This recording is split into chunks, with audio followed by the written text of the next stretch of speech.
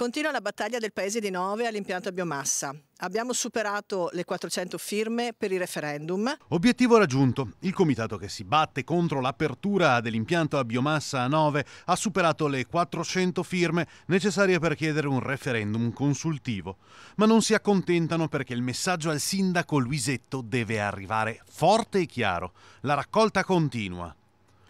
Adesso ne vogliamo ancora, tutti quanti possono venire a firmare perché vogliamo che tutta la cittadinanza abbia la possibilità di decidere se volere questo impianto o no. Siamo in piazza 9. Domenica dalle 9.30 fino alle 12.30 c'è ancora tempo dunque per sostenere questa battaglia. Per un comune come Nove si tratta di un risultato già molto importante. Una mobilitazione di popolo così deve essere considerata. Il sindaco lo sa e sa benissimo che dare il via libera all'impianto è un rischio sia dal punto di vista politico che amministrativo. I margini per intervenire, visto che dal punto di vista dell'urbanistica pieni i poteri ci sono, ci pensi bene.